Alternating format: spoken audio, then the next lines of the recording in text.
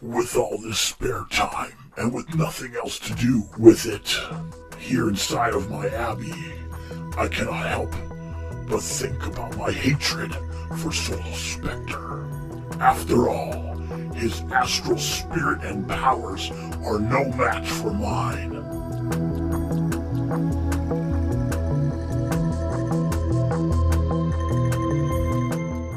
So, I must prove to myself and the world that I can defeat him in spiritual battle.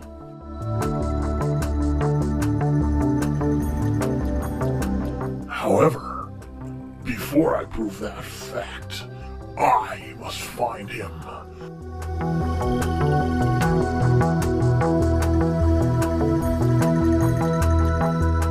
Ah, now, let me see. He's not in the ancient ruins of Troy.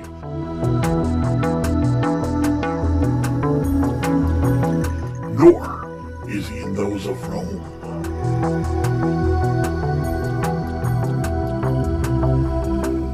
Alas, I cannot find him. But wait. Maybe the head of Medusa knows where he is, since it is all knowing.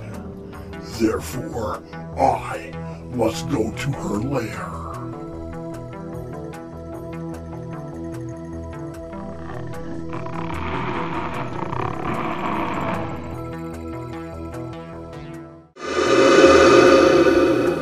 What was that that I just heard? It sounds like the roar of a hideous beast. So, I will continue my entrance into Medusa's tomb with extreme caution.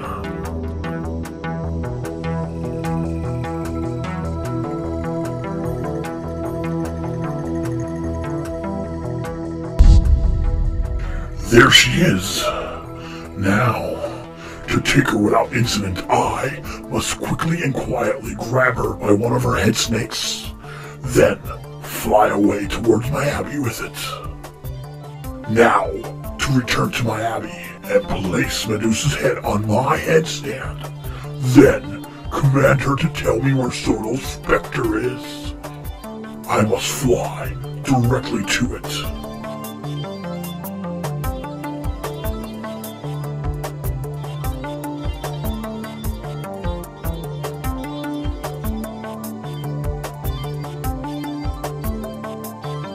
Medusa, where is Solo Spectre?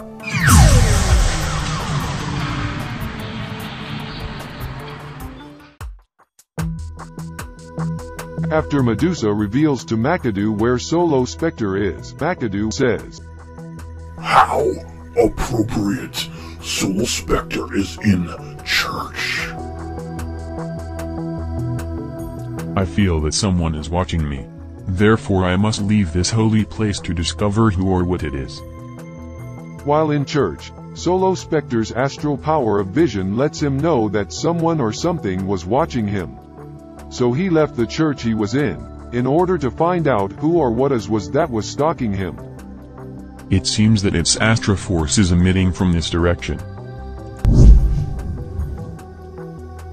Solo Spectre's stalking quest led him past the Carpathian Mountains to where Mac-Adoo's abbey lay. Once there he searched for the source of his premonition.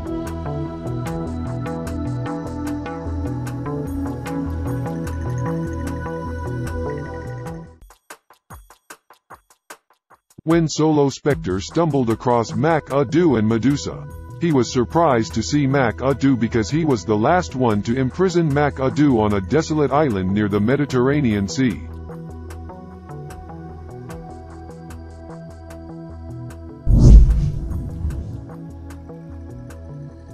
Nevertheless, Mac-Adoo ordered Medusa to astral concussion beam attack Solo Spectre by using her head snakes as a type of astral energy beam. Medusa, subdue Spectre by using your concussion beam.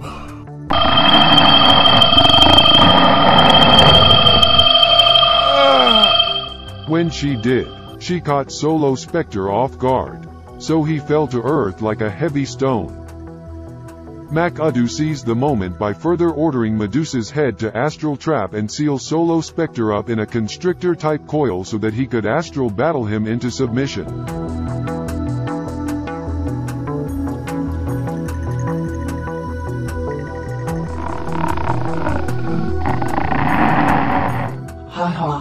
You are right where McAdoo wants you. Grounded, that is.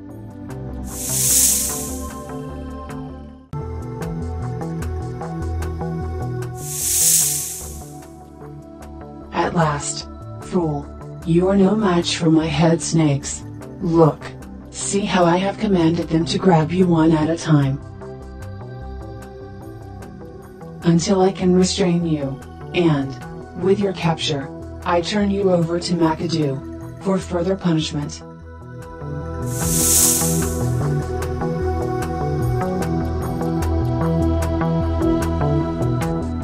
McAdoo. Not to be a party pooper but, your astral spells mean nothing to me.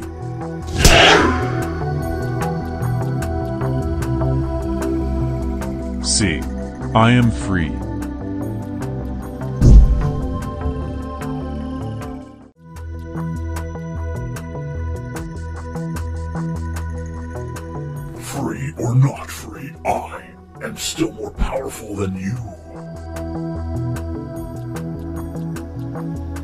I think not.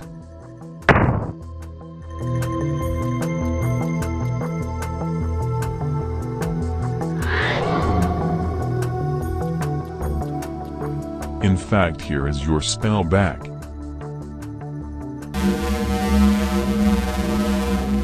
I have other spells to cast upon you. For example, come fly with me.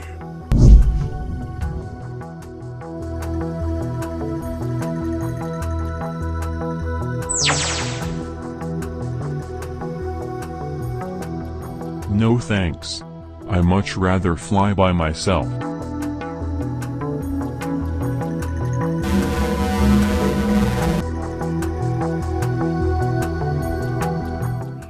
And I much rather fly in a primordial bubble.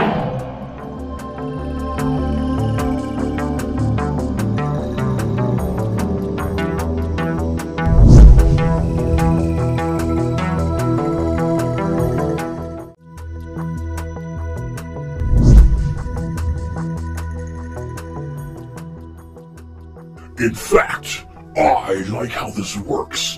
Look how easily I can fire my astral aura energy at you, but you cannot fire back at me.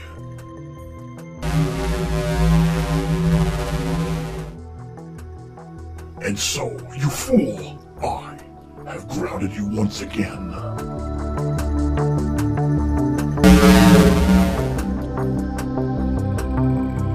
But now that you have disintegrated your bubble, I can discharge a cosmic blast at you that will cause your fall.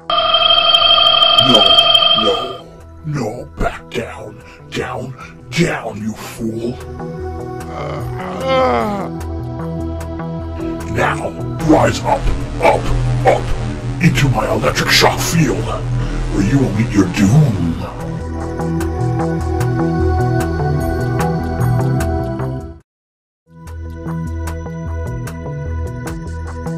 Once you are totally inside it, I will transport you to my abbey in order to finish your annihilation.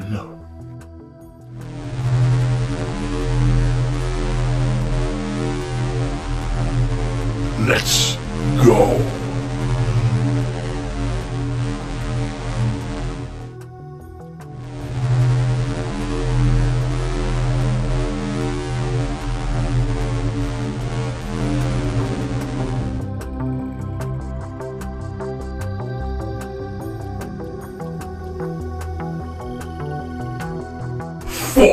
your knees!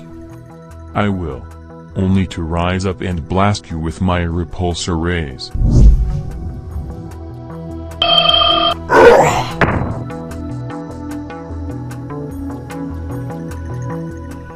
An excellent offensive move, but it will not prevent your defeat.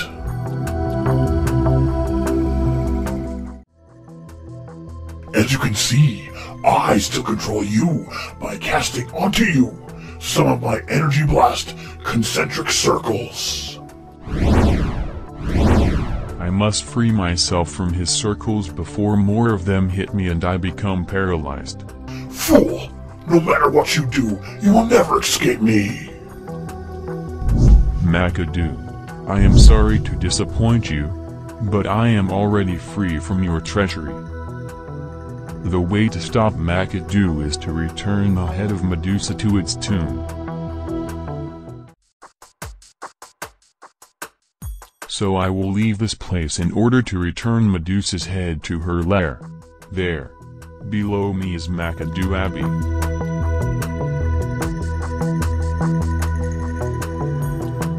And to the right of it is Medusa's head.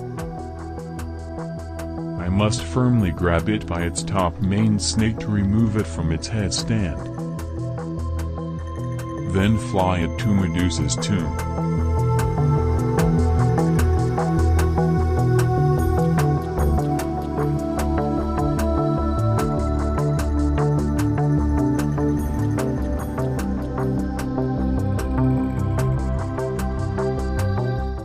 To place it in Medusa's treasure chest in order to return to my battle with McAdoo.